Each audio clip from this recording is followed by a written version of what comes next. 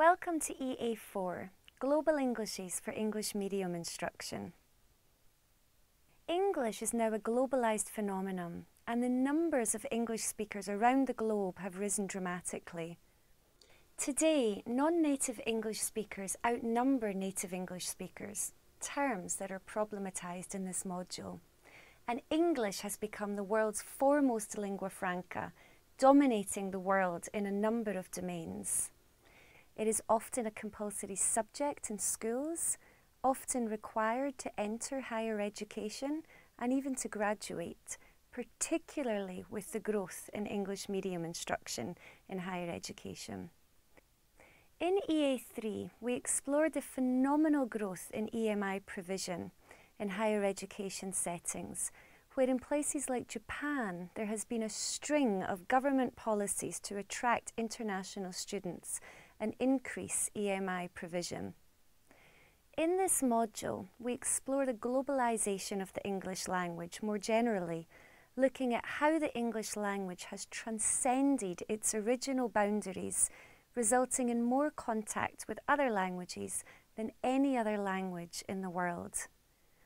Throughout the lectures, I will highlight that it is no longer relevant to associate English purely with native English-speaking nations, Today, English is spoken by a global community and therefore is a language with a global ownership. Japan, for example, has one of the largest commercial markets for English language teaching. English is often the only foreign language option in schools. As noted, some students are studying their entire degree in English, and some workers and companies such as Uniqlo and Rakuten use English on a daily basis.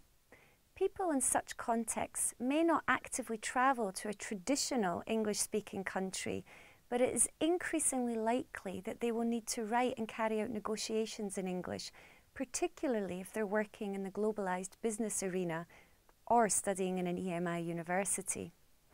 This shift in English language use has been accompanied by shifts in the needs of English language learners, necessitating curriculum innovation in both teaching English as a subject and teaching in English, topics that will also be explored in this module. The changing sociolinguistic uses of the English language have resulted in a wealth of research that investigates topics such as the history of English, language change, language variation, language attitudes, and English language teaching. Research in these fields are brought together under the umbrella term of Global Englishes, a topic explored in this module. Global Englishes research showcases how language change is natural and normal, how languages are in contact with one another, especially English, which is used in more language contact situations than any other, that the ownership of English should be viewed as a global concept, that English is adaptable, fluid, and ever changing. That many English users have a multilingual or translingual repertoire which they utilise to successfully communicate in English.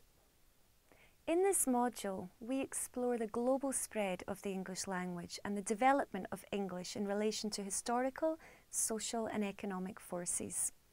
We also explore key issues in the field of global Englishes and the implication of such research for the way the language should be taught, given the fact that the majority of English learners will likely use the language as a lingua franca with fellow non-native English speakers.